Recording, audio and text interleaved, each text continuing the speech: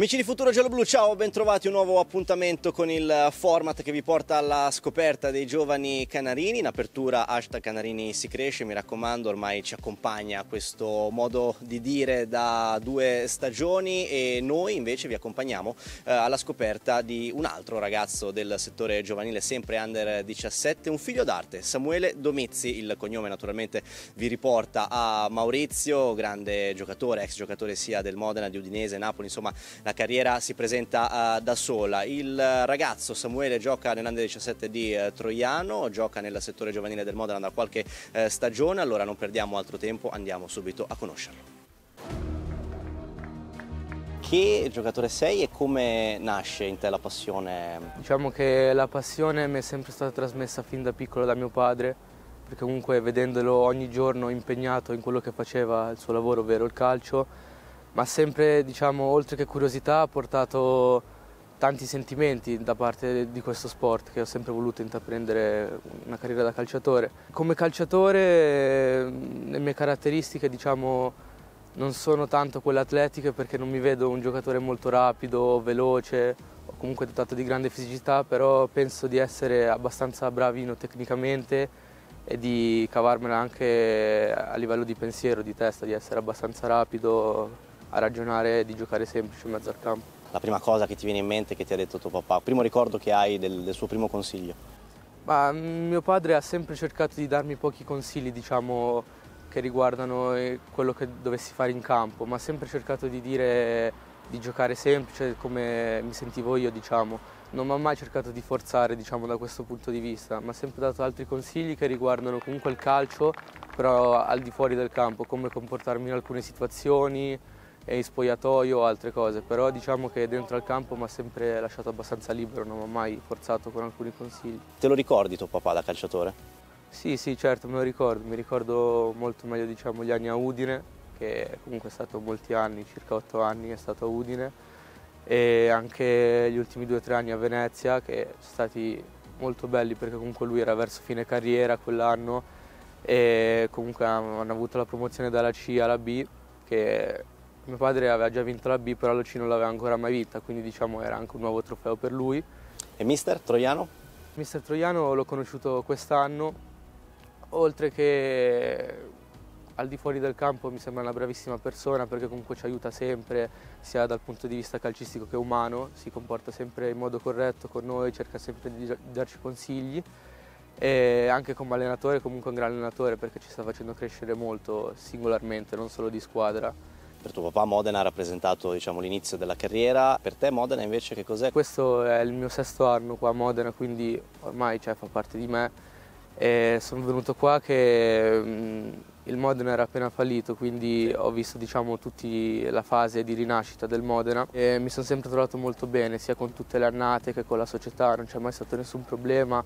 Anche con la città ho fatto diverse conoscenze, quindi Modena cioè, per me è molto importante. So che indossi spesso la fascia di, di capitano, no? Eh, quello invece che tipo di, di sensazione ti, ti, suscita?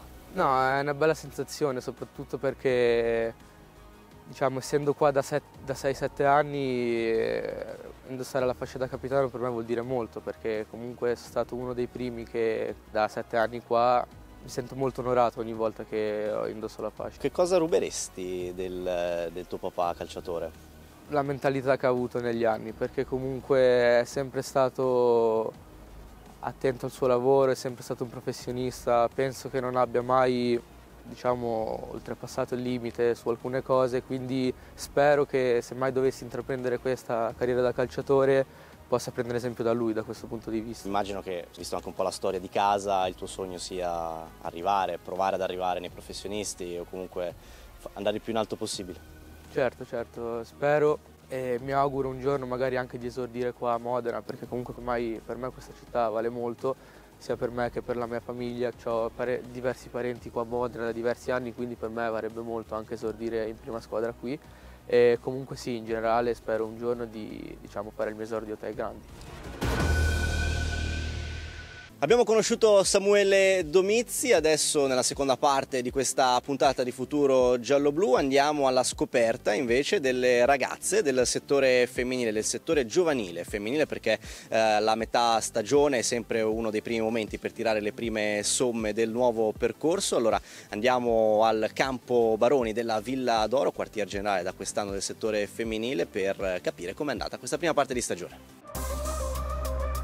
Prima parte di stagione com'è andata? Siamo a febbraio, quindi i primi 5-6 mesi se ne sono andati. Siamo molto soddisfatti, siamo molto soddisfatti. Sono arrivato quest'anno, abbiamo iniziato un piccolo progetto sul settore giovanile appunto per cercare di crescere e di raggiungere risultati importanti sempre tenendo in considerazione la cosa più importante che è l'educazione e la crescita personale di queste ragazze. Abbiamo a livello di tutte le categorie squadre molto competitive che ci danno ottimi risultati sia sul piano del gioco che sul piano comportamentale. Contiamo ad oggi una, una novantina circa di tesserate dall'Under 17 all'Under 9, quindi riguardante il settore giovanile, che è un buonissimo numero, contando che comunque in Under 15 quest'anno abbiamo deciso di fare una piccola scrematura per poter avere una squadra competitiva, tant'è che adesso è le fasi finali nazionali. Abbiamo un Under 17 che quest'anno rispetto all'anno scorso è più competitiva e bazzica tra le prime posizioni e le più piccoline si stanno facendo rispettare. Siamo anche addirittura in finale del Vallerini con le piccoline e con l'Under 9 e quindi siamo molto soddisfatti. Primo anno che alleno il femminile ti dirò che sono molto meravigliato perché non ci credevo molto all'inizio, però ti dirò che mi stanno dando grandi soddisfazioni poi le ragazze sono molto brave perché apprendono subito il mio pensiero di continuare sul calcio femminile, cosa che magari prima magari non pensavo, adesso magari è una mia priorità continuare col calcio femminile. Allenare le bambine? Per me è molto stimolante perché comunque anche loro hanno molto da insegnare a noi, sono molto vivaci, molto vivaci, però comunque è una caratteristica che possiamo sfruttare a nostro favore perché sono super vogliose di imparare e sempre pronte a sfide nuove, diciamo. Perché ti piace il calcio? Qual è la cosa più bella di questo sport secondo te? Perché mi insegna molte cose che prima non sapevo fare o non sapevo proprio di psicologia. Mi piace perché comunque ho visto altri giocatori molto forti e volevo anche io provare questa esperienza e vedo che sta andando bene ha cominciato a piacere perché in terza c'erano sempre i maschi che giocavano a calcio.